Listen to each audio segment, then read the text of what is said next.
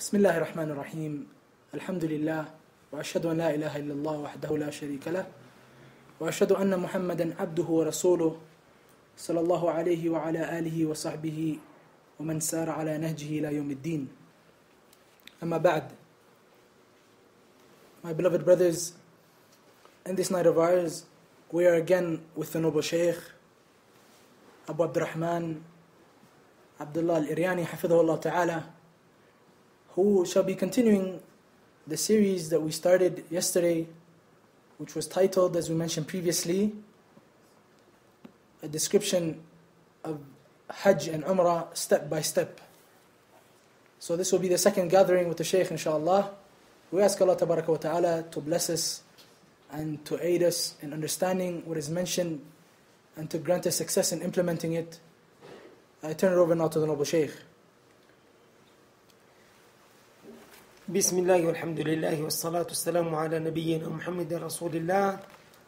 صلى الله عليه وعلى آله وسلم. أما بعد فلا زلنا في بيان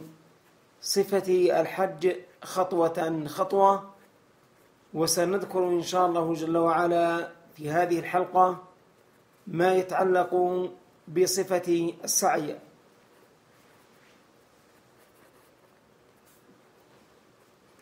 The Shaykh Hafidhullah Ta'ala, he began by praising Allah Azza wa Jal and sending peace and salutation upon the noble Prophet Muhammad Sallallahu Alaihi Wasallam. Then he went on to say that we have not ceased in mentioning the clarification of the manner in which the Hajj should be performed step by step. And in this gathering, we shall mention the sifa or the manner in which the sa'i should be done. فبعد أن يفرغ المعتمر من الطواف بالبيت يتجه عندئذ إلى المسعى ليأتي ويقوم بالركن الثالث من أركان العمرة وهو السعي بين الصفا والمروة. The Shaykh then he went on to say that after the one who is performing the Umrah, he finishes performing the tawaf around the Kaaba, he then turns towards the Mas'a, which is the place in which the person should be going back and forth between Safa and Marwa, the two mountains, in order to come about and do the second rukun, the second pillar from the pillars of uh, the Umrah, which is the Sa'i. ويسن عند الدنو من المسعى وعند القرب من الصفا أن يقول إن الصفا والمروة من شعائر الله أبدأ بما بدأ الله به He said, and it is legislated for the person, or it is recommended, that when he comes close to the Mas'a, the place in the in where the two mountains are, of uh, Saf, the Safa and Marwa, that he says the statement of Allah Azza wa Jal, Inna Safa wal Marwa min sha'irillah. I begin by that which Allah Azza wa Jal He begins, meaning the Quran.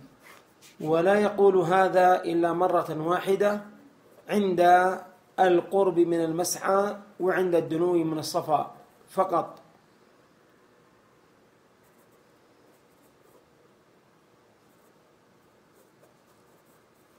The drum in the Mas'a, Qurb min Safa. The Shaykh he then went on to say that the person he does not say this or recite this ayah except once. He should not recite it except once. And this is when he reaches the Mas'a and he comes close to the mountain of Safa. ويسن للساعي أن يرقى على الصفا ويبدأ عندئذ سعيه من الصفا إلى المروة And it is also recommended for the one who is going to be uh, performing the action of sa'i between Safa and Marwa that he ascends on the mountain of Safa Naam, during this uh, the action of worship. فيسن أولا أن يرقى على الصفا ثانيا يستقبل القبلة ويرفع يديه So he said that it is recommended for him firstly to ascend the mountain of Safa and secondly he faces the Qibla raising his hands. ثم يهلل ثلاثا ثم يدعو بين ذلك So then he performs the tahleel, which is La ilaha illallah, three times, and he invokes between each tahleel, each time he's saying La ilaha illallah, he makes invocation and supplication between the two tahleels. وصفة التهليل الثابتة عن النبي عليه الصلاة والسلام أن يقول لا إله إلا الله وحده لا شريك له له الملك وله الحمد يحيي ويميت وهو على كل شيء قدير لا إله إلا الله وحده أنجز وعده ونصر عبده وهزم الأحزاب وحده And he said the manner which is authentically reported from the Messenger sallallahu alayhi wasallam in the way he used to do the tahleel was to say La ilaha illallah wahdah لا شريك له له الملك وله الحمد يحيي ويميت وهو على كل شيء قدير لا إله إلا الله وحده أنجز وعده ونصر عبده وهزم الأحزاب وحده This is the manner in which the tahleel should be performed. فيهلل بهذا ثم يدعو ثم يهلل بهذا مرة ثانية ثم يدعو بعده ثم يهلل بهذا مرة ثالثة ثم ينزل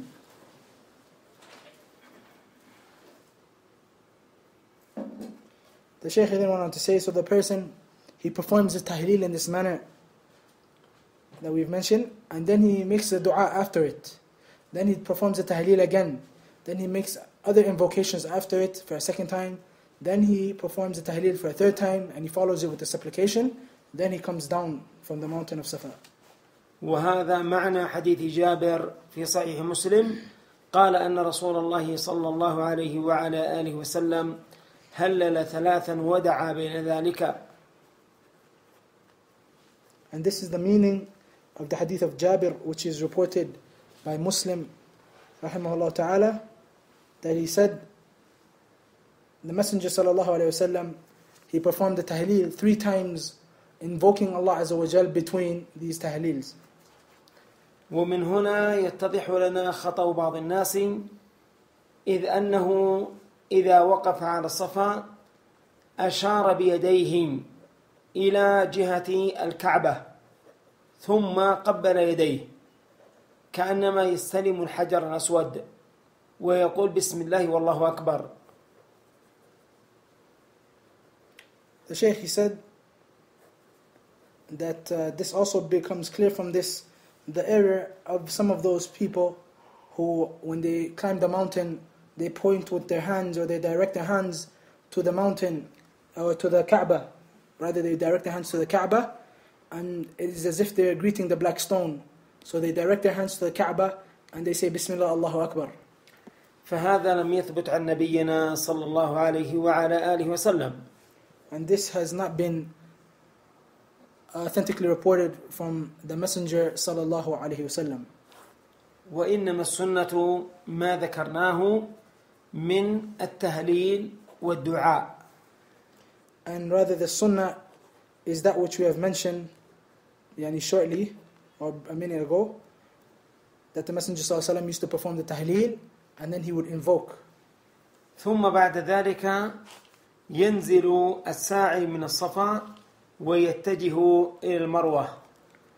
After this, the sa'i, the one who is going to perform the action of sa'i, he comes down from the mountain of Safa and he heads towards Marwa.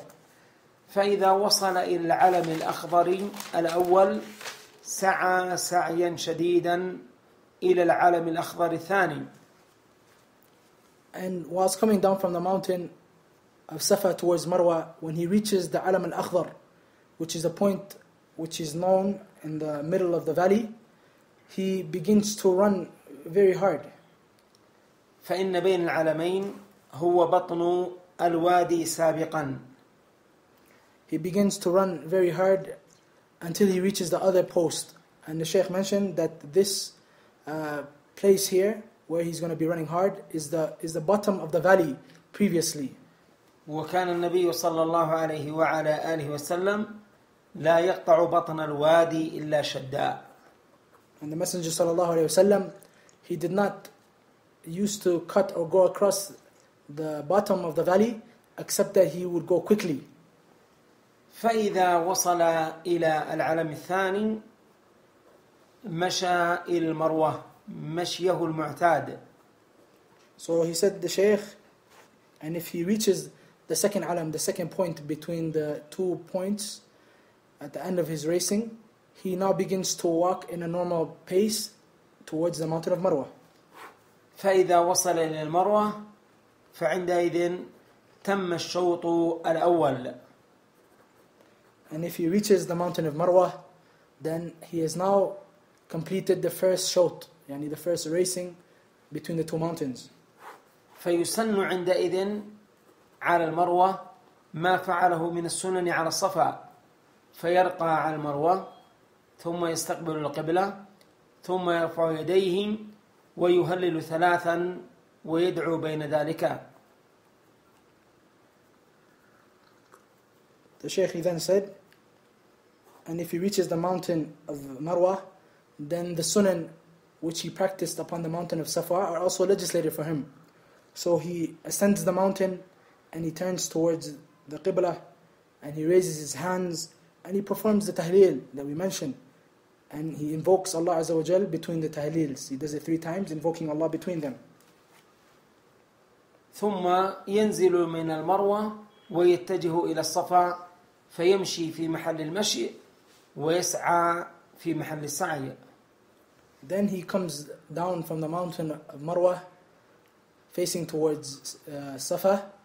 and he races in the place that we mentioned that he should be running hard. He runs in the bottom of the valley quickly, and he walks in the other places in his normal manner. فإذا وصل إلى الصفا فعندئذ تم الشوط الثاني And if he reaches the mountain of Safa, by this he has completed his second uh, shot. فيكون ذهابه من الصفا إلى المروة شوط ورجوعه من المروة إلى الصفا شوط آخر So his going from Safa to Marwa is considered one complete uh, racing, and returning back from Marwa to Safa is another shot, another racing which is counted for him. خلافا لما يفعله بعض الناس إذ يجعلون ذلك كله شوطا واحدا And this is in opposition to that which some of the people do, as they consider his going from Safa to Marwa and returning back from Marwa to Safa as one complete racing. وهذا ليس من السنة بل من الابتداع في الدين ومن التنطع And this is not from the sunnah of the Messenger sallallahu alaihi wasallam. Rather, this is from uh, in innovations into the religion, and also from uh, being going into extremes. وأثناء ذهابه وإيابه بين الصفا والمروة يذكر الله جل وعلا ويدعو الله سبحانه وتعالى And between his going from Safa to Marwa and his returning from Marwa to Safa, the person should remember Allah Azza wa Jal and invoke Him and call upon Him. وهكذا يصعد على الصفا ويفعل ما فعل من السنن في المرة الأولى فيرقى على الصفا ويستقبل القبلة ثم يرفع يديه ويهلل ثلاثا ويدعو بين ذلك And when he reaches the mountain of Safa, he ascends the mountain again and he implements the sunan which he previously practiced on the mountain from, from climbing up the mountain and ascending it and facing the Qibla and raising his hands and performing the tahleel and invoking Allah Azza wa Jal between the tahleel which should occur three times as the past previously. ثم يتجه بعد ذلك إلى المروة And after this he returns back to the mountain of, uh, the mountain of Marwa. فيمشي في محل المشي ويسعى في محل السعي and he walks in the places where it's uh, legislated for him to walk, and he races in the places where it's legislated for him to race. فإذا وصل إلى المروة رقى عليها ثم استقبل القبلة ورفع يديه وهلل ثلاثا ودعا بين ذلك And once he reaches the mountain of Marwa, he again ascends the mountain and he uh, faces the Qibla, he raises his hands, he performs the tahleel three times, and he invokes Allah Azza wa Jal between them, these tahleels, three times. وهكذا ذهابا وايابا بين الصفا والمروه بنفس الصفه التي بيناها حتى يكون اخر شوط له على المروه And the Shaykh he said that he, he will continue like this in his going and coming between the mountains upon this exact uh, characteristic or in this exact manner until his last racing ends with him reaching the mountain of Marwa. فاذا وصل الى المروه في الشوط السابع فعندئذ لا يستقبل القبلة ولا يرفع يديه ولا يهلل ثلاثا ويدعو بين ذلك وإنما يتجه مباشرة إلى التحلل بحلق شعر رأسه وتقصيره And he said that once he reaches the mountain of Marwa in his seventh going or his seventh racing, then he does not face the Qibla, nor does he raise his hands, nor does he uh, perform the tahleel or invoke Allah Azza wa Jal. Rather, what he does is he turns towards that which will make him uh, end his ihram by cutting his hair or trimming it. لكن إن هو حلق شعر راسه فلا بد أن يحلق الشعر كله وكذلك إن قصر شعر رأسه لا بد أن يقصر الشعر كله And he said, uh, and if he decides to cut his hair, and he cutting it all off, then he must cut off all of his hair in totality. And if he decides to trim it, then he must trim all of his hair in totality. ومن هنا يتضح لنا خطأ بعض الناس إذ أنه إذا تحلل بتقصير أخذ شعيرات من مقدم رأسه ومؤخره وعن يمينه وعن شماله بالمقص ثم اكتفى بذلك And the Shaykh said, and from this angle it becomes clear to us the error of some of those people who once they uh, want to finish or uh, complete their umrah,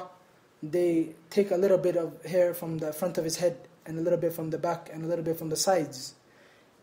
And this is something which he considers sufficient for him. وهذه الصفة لا تجوز ولا تجزئ في التحلل And this manner of cutting the hair, it is not accepted, nor is it permissible in the person uh, doing this in order for him to complete his umrah. قال العلماء فلا بد أن يشمل التقصير كل رأسه The ulama, they have mentioned, the scholars, that uh, the cutting or the trimming of the hair, it should be around all of the head. All of the hair on the head should be trimmed. Should be trimmed. فإذا تحلل فعندئذ تمت عمرته And if this person now cuts his hair, he becomes halal and his umrah is now complete. وما كان محرما عليه بسبب الإحرام يصير عندئذ حلالا له And what was previously uh, haram and forbidden upon him, due to him being in a state of ihram, now becomes again permissible for him. ويستمر حلالا إلى أن يأتي اليوم الثامن من ذي الحجة وهو يوم التروية And he continues to be in a state of being halal, yani permissible for him that which was previously impermissible in the state of ihram, until the eighth day of the Hijjah, which is referred to as Yom al-Tarwiyah. فإذا كان في ضحى يوم التروية أحرم من مكانه بنفس الصفة التي بيناها في الإحرام في الحلقة الماضية ثم يتجه مباشرة بعد الإحرام إلى منى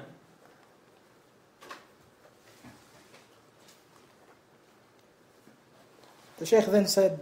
and when it, when it reaches the eighth day, and it is the time of Duha, the time of Duha which is uh, before Dhuhr and uh, before, the, yani around this time in the morning, he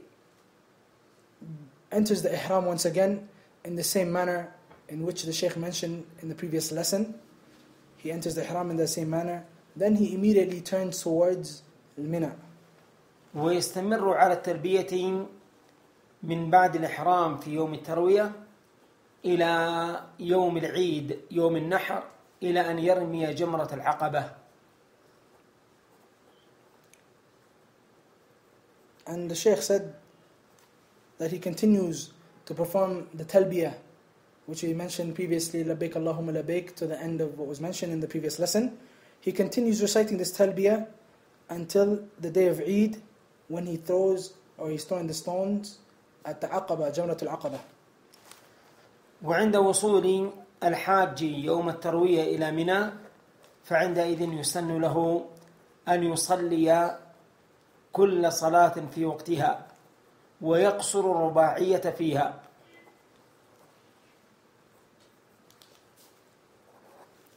And the Shaykh he has mentioned that when the Hajj he reaches Mina, he reaches Mina, it is uh, legislative for him to pray all of the prayers of the day, and he does qasr, meaning that he prays each prayer in its time, but the prayer which is four rak'at, the likes of Asr or Isha, he reduces them and he prays them qasran two rak'at. وليس من السنة أن يجمع بين الصلاتين. And it is not from the sunnah that this person, he gathers or he does a jam'. He prays the two salawat one after the other. فإذا طلع عليه فجر يوم عرفة وهو التاسع من ذي الحجة فعندئذ بعد صلاة الفجر يذكر الله جل وعلا إلى شروق الشمس وبعد الضحى أو عند الضحى يتجه إلى عرفة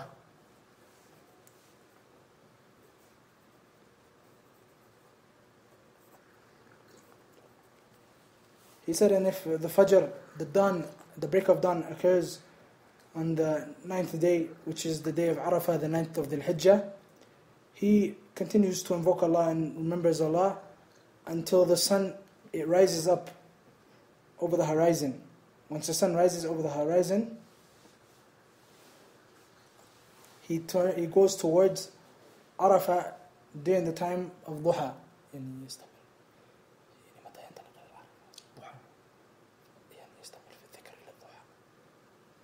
He continues in the dhikr, in the remembrance of Allah to the time of Duha, then he goes towards Arafah on the ninth day.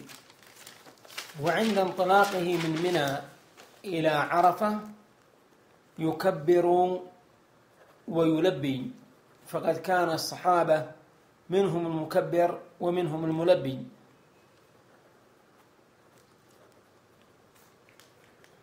And in his departure from Mina towards Arafah on this day, he performs the takbir as well as the talbiyah. As the Sahaba radiallahu anhum, whilst they were performing Hajj, from them was the one who was performing takbir, and from them was the one who was performing the talbiyah. فإذا وصل إلى عرفة فعندئذ يصلي مع المسلمين صلاة الظهر والعصر جمع تقديم جمعا وقصرا And once he reaches Arafah on this day, he prays with the Muslims the Dhuhr prayer as well as the Asr prayer, Jam'a Taqdeem. Both of these prayers being pushed for, yani the Asr being pushed forward to the time of Dhuhr, and they pray Qasran, meaning two rak'at, two rak'at for each prayer. ثم يقف بعرفة يدعو الله عز وجل ويذكر الله سبحانه وتعالى ويكثر من التهليل And once he reaches the mountain or the, he reaches Arafah, he invokes Allah Azza wa Jal and he remembers him much and he does a lot of the tahleel. لا إله إلا الله. وقد جاء في الحديث أفضل الدعاء دعاء يوم عرفة لا إله إلا الله وحده لا شريك له له الملك وله الحمد وهو على كل شيء قدير. And it comes in the hadith that the best of invocations on the day of Arafah is La ilaha illallah wahdahu la sharika lah, lahu al-mulk wa lahu al-hamdu huwa ala kulli shayin qadir. ويستغل الحاج هذا اليوم بالاكثار من الابتهال والمناجاة والدعاء And the Hajj, he takes advantage of this day by doing much invocation and humbling himself to Allah Azza wa Jal and calling upon Him and invoking Him. فإن يوم عرفة يعتبر أفضل أيام الدنيا for, for certainly the day of Arafah, it is from the best days of the dunya. وفي مسلم من حديث أم المؤمنين عائشة قال النبي عليه الصلاة والسلام ما من يوم أكثر من أن يعتق الله فيه عبدا من النار من يوم عرفة As it is found in Muslim on the hadith of Aisha radiallahu anha that she said the messenger of Allah sallallahu alayhi wasallam said there is not a day in which Allah azza wa may free, there is not a day which it is more beloved or closer for Allah Azza wa Jal to free a slave from the hellfire than the day of Arafah. قال وإنه ليدنو ثم يباهي ملائكته بأهل عرفة ويقول ما أراد هؤلاء For indeed, Allah Azza wa Jal, He comes close during that day and He praises Himself and He boasts, saying, Who, are the, who have these people come for? فيستغل الحاج هذا اليوم في الدعاء والتضرع إلى الله سبحانه وتعالى بالعتق من النار وبدخول الجنة So the Hajj, the one who is performing Hajj on this day, he takes advantage of it by invoking Allah Azza wa Jal and making himself humble to Allah Azza wa Jal, seeking for him to free him from the hellfire and enter him into paradise. ولذلك كانت السنة للحاج يوم عرفة أن يكون مفطرا تأسيا برسول الله عليه الصلاة والسلام وأيضا ليتقوى على الإكثار من الدعاء And for this reason, it has been the sunnah for the one who is performing Hajj that he breaks his fast. Then that day he is not fasting. This is whilst he's following the sunnah of the Messenger sallallahu alaihi wasallam in this action, in addition to him having energy. Yani by, by not being fasting, he has energy to call upon and invoke Allah Azza wa Jalla. فإن رسول الله عليه الصلاة والسلام كما في الصحيحين كان في حجة الوداع واقفا بعرفة مفطرا وليس بصائم And this is, it is certainly found that the Messenger of Allah sallallahu alaihi wasallam, uh, it has been reported in the Sahihain that he was standing on Arafah in that day, and he was muftir. He was not fasting. He, he had broken, or he wasn't fasting during that time. ويستمر وقوف الحاج بعرفة إلى غروب الشمس And the staying of the one who's performing Hajj, he remains in Arafah until the sun sets. فإذا غربت الشمس فعندئذ يفيض من عرفة إلى مزدلفة And when the sun sets on that day, they now move from Arafah towards Muzdalifah. فإذا وصل إلى مزدلفة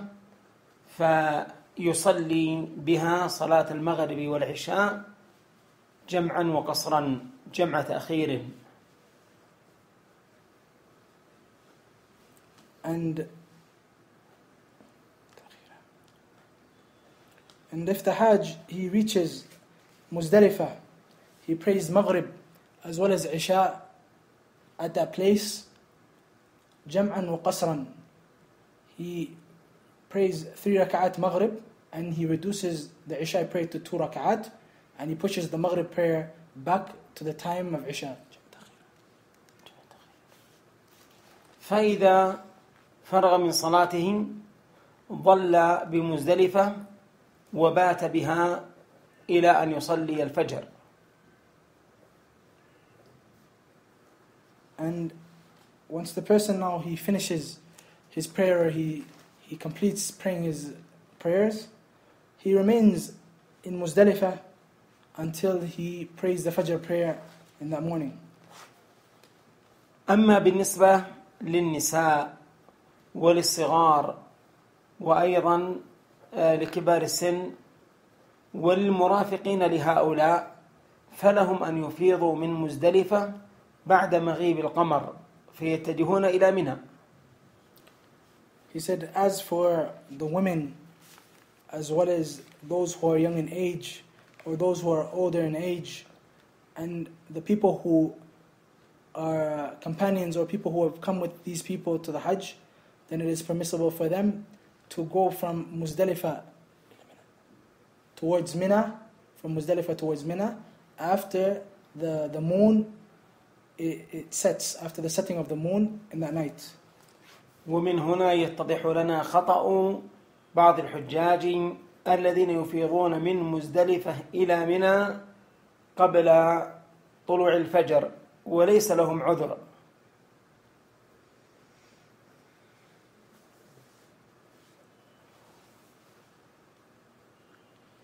The Shaykh then said, Hafidhullah Ta'ala, and from this point, or from here, it becomes clear to us the error of some of the people who perform Hajj, who go from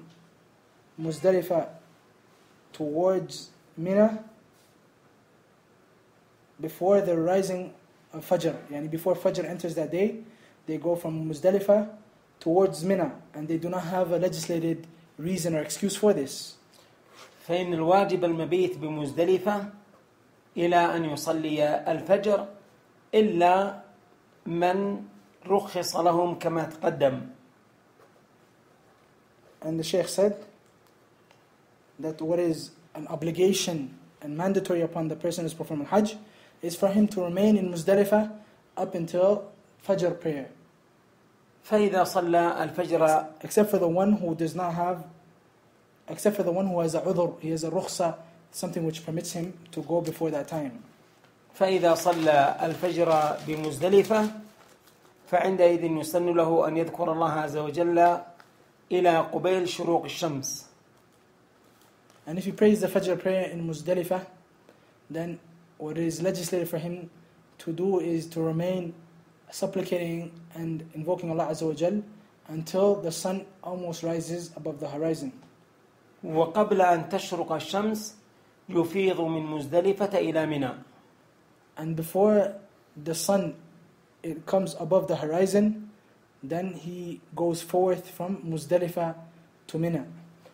ويتجه إلى منى مك- مكبرا وأيضا ملبيا And he goes towards Mina whilst he's performing the takbir, saying Allahu Akbar, and the talbiyah, labbaik Allahumma labbaik, to the end of the talbiyah. فإذا وصل إلى منى اتجه إلى العقبة الكبرى فقط فرماها بسبع حصيات يكبر مع كل حصاه And once he reaches uh, Mina, he goes towards Al-Aqaba al-Kubra and he begins to throw seven stones. With each stone that he throws, he performs the takbir, saying Allahu Akbar with each throwing. فإذا رمى جمرة العقبة في يوم العيد فعندئذ انتهى وقت مشروعية التلبية فيقطع التلبية ويستمر بالتكبير And once he has thrown the stones at Jamrat al-Aqaba on the day of Eid, at this point in his beginning of the throwing, he ceases performing the talbiyah, labbaik Allahumma labbaik, and he continues performing the takbir, saying Allahu Akbar. ثم يذبح الحاج هديه إن كان له هدي ثم يحلق شعر رأسه ويكون بذلك قد تحلل التحلل الأول And after this, meaning the throwing of the stones, the one who's performing Hajj, he slaughters the sacrifice. Then, after slaughtering the sacrifice, he cuts his hair, and by this he has now entered the first tahallul. ومعنى التحلل الأول أي يجوز له كل ما حرم عليه بسبب الإحرام يجوز له كل ذلك يجوز له كل ذلك إلا الجماع أن يجامع زوجته And the meaning of the tahallul al-awwal is that everything which was previously impermissible for him to do now becomes permissible for him to do except for him to have relations with his wife. ثم يتجه إلى مكة فيطوف بالبيت طواف الإفاضة طواف الحج Then he turns towards Mecca from Mina and he performs the tawaf, which is tawaf al-Hajj, tawaf al-Ifada. وفي طواف الحج يطوف بنفس الصفة التي بيناها في الحلقة الماضية تماما بتمام And during this tawaf, he performs it in the exact same uh, character or in the exact same manner that we mentioned in the previous lesson. Exactly. إلا أنه لا يرمل في الثلاثة الأشواط الأولى وليس فيه اطباع Except that in this tawaf around the Bayt, the person does not perform the ramal, the quick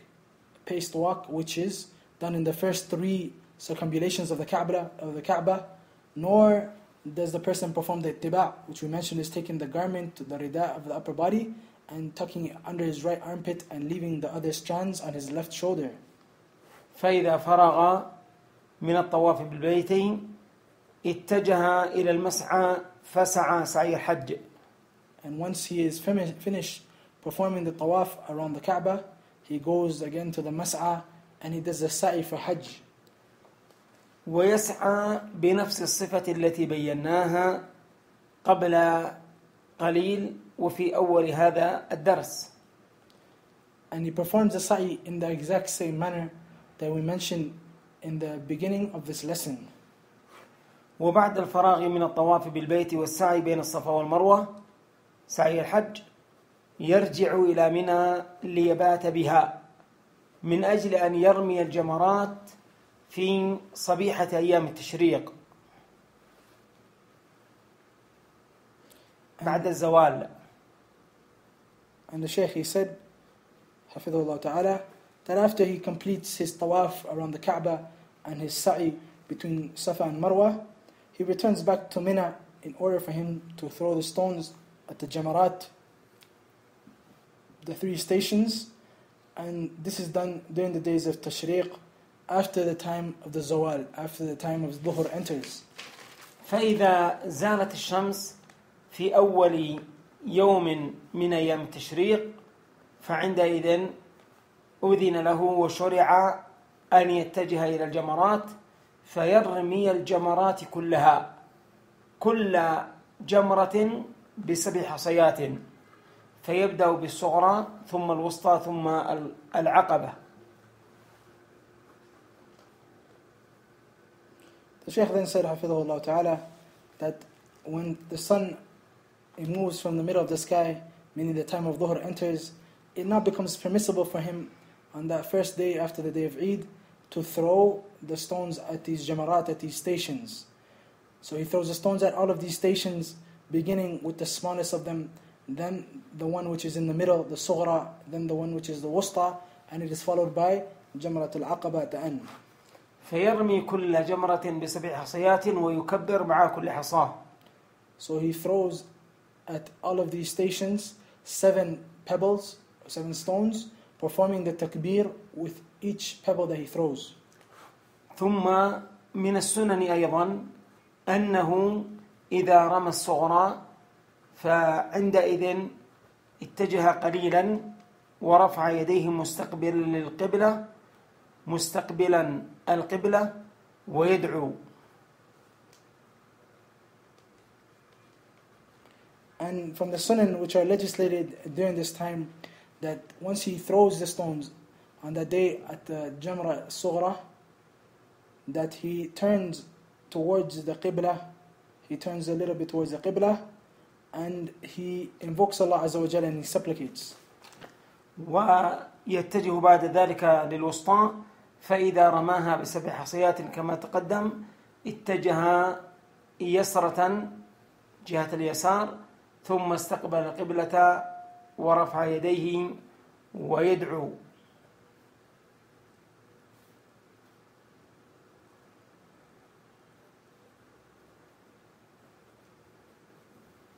The Shaykh then said, then he moves towards, or he goes towards the Jamrat al Wusta. Uh, after throwing the seven stones at the Jamrat al Wusta, he then turns a little bit to his left, he raises his hands, he faces the Qibla, and he invokes and calls upon Allah Azza wa Jal. أما إذا رمى جمرة العقبة فلا يقف ولا يدعو However, if he throws the stones at Jamrat al-Aqaba, which is the last station, he does not turn towards the Qib- Qibla, nor does he make any invocation. وأيضا في اليوم الثاني من أيام التشريق بعد الزوال يرمي الجمرات الثلاث بنفس الصفة And on the second day, from the days of Tashriq, which is the second day after the day of Eid, he, after the time of Zawal enters, again returns and throws the seven stones at each one of the three stations. فإذا كان مستعجلا فعندئذ له أن يخرج من منى قبل غروب الشمس And if that person is in a state of hurry, then it is permissible for him to leave Mina at that point before the setting of the sun. ويكتفي عندئذ بالرمي في اليومين أول أيام التشريق وثاني أيام التشريق And he suffices himself by throwing these stones which he has done on the first day of Tashriq, followed by the second day of Tashriq. فإن مكث بمنى ثالث أيام التشريق. بات ليرمي الجمرة في ثالث أيام التشريق بعد الزوال بنفس الصفة التي بيناها. كان مبيته أفضل تاسيا برسول الله عليه الصلاة والسلام. And if the person he remains in Mina for the third day of Tashriq, in order for him to throw again these pebbles or these stones at the three stations, then this is after the Zawal, and this is something which is better after the Zawal, meaning after the time of Dhuhr has entered, and this is better as this is following the Sunnah of the Messenger sallallahu alaihi wasallam. فإذا رمى في ثالث أيام التشريق بعد الزوال إذا رمى الجمرات الثلاث فعندئذ ينفر من منى وينفر كل الحجاج من منى He said, and after the third day of Tashriq, in which he throws again the stones at the three stations, after completing this on the third day, then he leaves Mina. And all of the Hujjaj, they end up leaving Mina at that time. وهنا تنبيه وهو أن من الناس من يتكلف بلق الحصيات التي يرمي بها الجمرات And this is a tanbih, a notice, which is that some of the people who are performing Hajj, they burden themselves by going and collecting any specific types of stones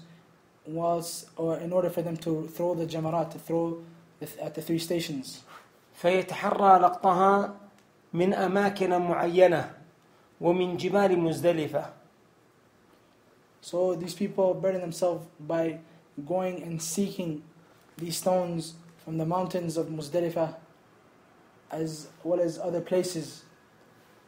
وهذا ليس من السنة وليس عليه دليل And this is not from the Sunnah, nor is there any evidences which support this. بل يلقط الحصى وهو في طريقه إلى منى Rather, he picks up these pebbles or stones which he shall be throwing in his path towards Mina. ومنهم أيضا من يتكلف برمي الحصيات فيغسلها قبل الرمي ويطيبها وهذا ليس من السنة بل من البدع المحدثة And from the, from the people are those who burden themselves by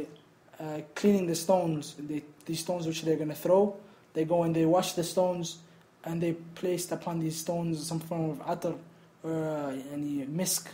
And this is something which is not allowed and it is an innovation. ومنهم أيضا من يتكلف فيرمي الجمرات بح- بحجار وحصيات كبيرات And from them are those also who burden themselves and go into extremes by gathering stones or throwing stones at these jamarat, these three, three stations, which are big, which are large stones. وهذا من التكلف والغلو And this is from the person burning himself with that which he is not legislated and from extremism in the religion. فإنما السنة أن يرمي الجمرات بحصيات مثل حصى الخذف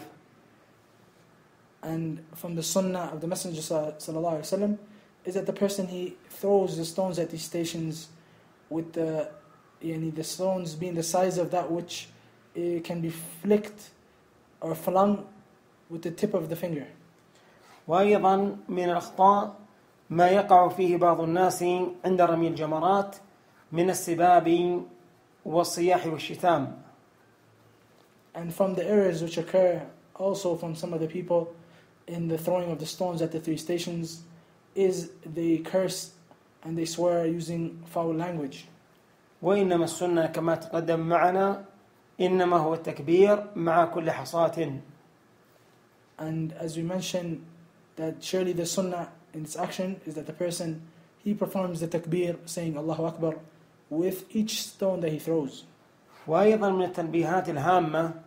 أن من الناس من يعتقد أن الشياطين مربوطة في هذه الجمرات And also from the important notice- notices is that some of the people believe that the shayateen, there's some demons which are tied up or locked in these stations, these jamarat. ويعتقد أنه إذا رمى الجمرات إنما يرمي الشياطين And they believe that whilst they are throwing the stones at these jamarat, these three stations, they're certainly throwing stones at shayateen. وهذا اعتقاد ليس عليه دليل ولا مستند صحيح and this belief is a belief which does not have any dalil for it, does not have any evidence which supports it, nor does it have anything from proof which uh, comes along with it. فإنما يرمي الحاج جمرات تأسيا برسول الله صلى الله عليه وعلى آله وسلم القائل لتأخذوا عني مناسككم And certainly the one who is throwing these stones at these stations he does so whilst he is following the sunnah of the Messenger sallallahu alaihi wasallam who has said, this is in order for you to take or comprehend from me your manasik, your actions of worship during the Hajj. yani. بعد عودة الحاج إلى مكة وبعد الفراغ من أعماله بمكة وعند التأهب للسفر يسن ألا يغادر مكة حتى يطوف بالبيت And after the Hajj, the one performing Hajj, he returns back to Mecca and he completes the actions of ibadah which were there and he prepares himself now to return back to his country that he has come from or his place which he resides. It is recommended for him that he does not travel except that before he travels he does a tawaf again around the Kaaba. وهذا الطواف يسمى بطواف الوداع وهو واجب على الراجح من أقوال أهل العلم And this tawaf, it is referred to as tawaf al-wada' and it is an action which is an obligation uh, from, the, from the correct statements from the people of knowledge. إلا أنه رخص في حق المرأة الحائض فإذا عزم رفقتها على السفر ولا زالت في فترة الحيض فعندئذ يرخص لها أن تغادر دون أن تطوف بالبيت However, it is become or it is permissible or made legislative for the woman who is in a state of her menstruation cycle that if the people she had come with to perform Hajj بمعنى يسقط عنها الوجوب لحيضتها And continuing before the Shaykh, we mentioned that the Shaykh said previously that the woman who is a ha'id, it is permissible for her to leave and not perform tawaf al wada' if the people she had come with to perform the Hajj, they prepare themselves to travel, then there is no tawaf which is upon her in that state. وبهذا يتم عندئذ حج المرء المسلم والمرأة المسلمة and by this it becomes complete or the completion in this there's the completion of the actions of Hajj for the man and the woman who are Muslims. فإذا قال قائل وأين الزيارة للمدينة And if a person says, where then is the mention of the visiting of the city of Al Medina? فنقول زيارة المدينة أو زيارة المسجد النبوي لا علاقة لها بالحج فليست من شروط الحج ولا من واجباته ولا مس- ولا من مستحباته So he said we were saying in response to this that the visiting of Medina or the Prophet's Masjid sallallahu alaihi wasallam, there is no connection between this and the actions of Hajj. It is not an obligation, nor is it even from the recommended affairs which pertain to Hajj. وإنما هي عبادة مستقلة إن سنحت فرصة للحاج أن يزور المسجد النبوي فيسافر إلى المدينة من أجل ذلك كان بها وإن لم تسنح الفرصة أو شغل فلا علاقة لذلك بالحج And the Shaykh said that that this action of visiting the Masjid Nabawi is an action of ibadah which is independent. It is not connected to, connected meaning to the actions of Hajj. So if an opportunity presents itself to the one who's performing Hajj to visit Medina, to travel there, to visit the Masjid, then he does so. And if there does not present, present itself this opportunity for him, then this is not connected to the actions of Hajj. وأما الحديث المشهور من حج فلم يزرني فقد جفاني فإنه موضوع مكذوب على رسول الله صلى الله عليه وعلى آله وصحبه وسلم فلا يثبت عن نبينا the Shaykh said, as for the hadith which is well known, that the Messenger of Allah sallallahu alaihi wasallam said, Whomsoever performs Hajj and he does not come to visit me, then he has uh, belittled me or he has wronged me. Then this hadith is a hadith which in itself is a lie and a fabrication upon the Messenger sallallahu alaihi wasallam, which is not correct or weak. وهنا تنبيه وهو أن من الناس من يسافر إلى المدينة من أجل زيارة القبر النبوي وليس من أجل وليس من أجل زيارة المسجد النبوي And this is another uh, notice is that from the people are those who travel to Medina specifically for the visiting of the grave of the Messenger sallallahu alaihi wasallam, and they are not intending to visit the masjid, the masjid of the Messenger sallallahu alaihi wasallam. وهذا غير مشروع فقد نهى النبي عليه الصلاة والسلام عن شد الرحال إلا إلى ثلاثة مساجد المسجد الحرام ومسجده النبوي والمسجد الأقصى And he said this is something which is not legislated. It's not legislated. And the Messenger ﷺ, he has prohibited that a person packs his bags to travel except for the three masajid. These three masajid being the Masjid al-Haram in Mecca and his Masjid sallallahu alayhi wasallam in Medina and Masjid al-Aqsa which is in Jerusalem. فشد الرحل من أجل المسجد النبوي لا من أجل قبر النبي So packing the bags and traveling or traveling to visit, uh, it should be done for the masjid itself and not for the grave. وأيضا ينتبه الحاج فيحافظ على شعائر الله عز وجل وعلى أوامره سبحانه وتعالى ويكون بعيدا عن المحظورات والمنهيات And the Hajj, the one performing Hajj, he also should yani, pay attention to and give rights to the signs of Allah Azza wa Jal and His rights. And he should stay away from the matters which are prohibited for him, as well as those things which Allah Azza wa Jal has forbade. فيعف لحيته ولا يحلقها وأيضا يغض بصره ويصون سمعه ولسانه So the one performing Hajj, he allows his beard to grow and he lowers his gaze and he protects his tongue as well as himself from that which is not allowed. ويحرص على المحافظة على أذكار الصباح والمساء وأيضا على أذكار السفر وأيضا على الأدعية الثابتة عن النبي عليه الصلاة والسلام So the one performing Hajj, he should also uh, be eager or give efforts in performing the adhkar, the supplications of the morning as well as the evening, and the other supplications which are established on the Messenger sallallahu alaihi wasallam. وأيضا يكثر من دعاء الله عز وجل أن يتقبل منه قربته وأن يتقبل منه حجه And he also calls upon Allah Azza wa Jal for him to accept